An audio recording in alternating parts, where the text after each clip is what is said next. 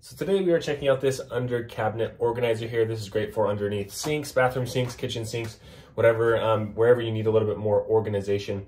And the cool thing about this is it has this little non-slip um, kind of material right here. It comes in the bottom piece right here. This is how it comes out of the box.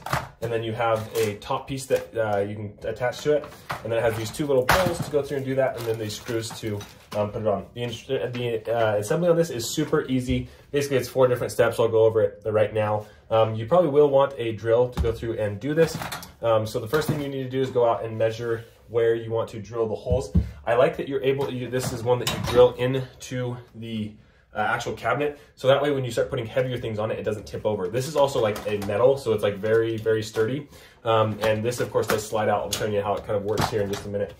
It does come with this nice little drilling. It does come with this nice little drilling template as well to lay this down and it tells you exactly where you need to go through and drill the holes. So we're gonna go through and get these holes in and uh, get this thing all installed. So total measurements to keep in mind on this thing is it's 15.7 inches tall, 13 inches, 0.4 inches wide, and then 16 inches. Okay, so we went through and marked where we're gonna put these screws in. There's basically four screws is the only um, assembly that you really need. And this is where they're gonna go through and go. So I marked where they're gonna go in this cabinet. We're just gonna put this in right here. Kind of extend it out like this. And then now we can go through and drill in those holes.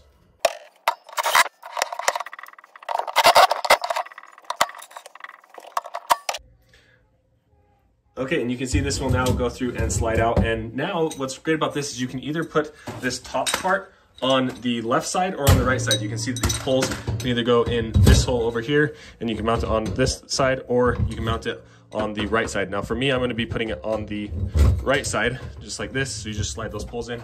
It does come with this little mat as well, which is really nice. It slides right in here, makes it look really clean and organized.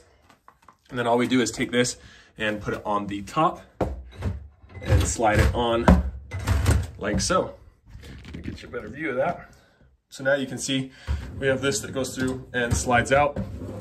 Um, when it hits a certain point right here, you can see it's locked. You can't take it out any further. And because it's screwed in, this isn't gonna go through and fall out on you. Look how far out this thing can um, uh, go out, which is really nice. You can put a ton of stuff in here. Okay, and here you have it. You can see when you go through and pull everything out, it doesn't fall on you. There's a lot of weight on here.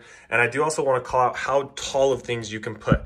I have a couple of these different kind of uh, under desk or, or organ, under cabinet organizers, and very few of them are tall enough to fit things like this. So I like that you have this up here where you can go through and kind of put things, but then it doesn't cut off space where if you had more taller things like these bottles, um, so it has plenty of room. I mean, even with this bottle, it can fit underneath there as well, but um, really nice design. I absolutely love this thing. I love that it's screwed into the cabinet so it doesn't fall over or anything on you, especially when you have kids that are coming in here and maybe messing things around. Um, definitely something I would recommend.